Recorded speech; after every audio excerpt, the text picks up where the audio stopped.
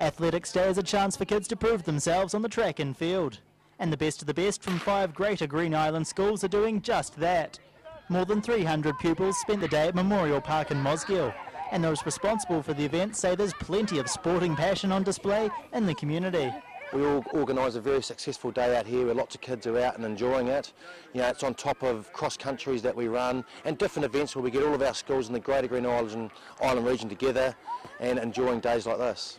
All the athletics staples were featured. Kids rotated around events including discus and shot put, with long jump, high jump, sprints and hurdles making an appearance. And it seems the kids found plenty to love on their day out. Uh, I quite like long jump because I reason I'm reasonably good at it and yeah it's also fun. I like sprints because I'm pretty good at it and you just get to sprint and run. Relay because it's fun.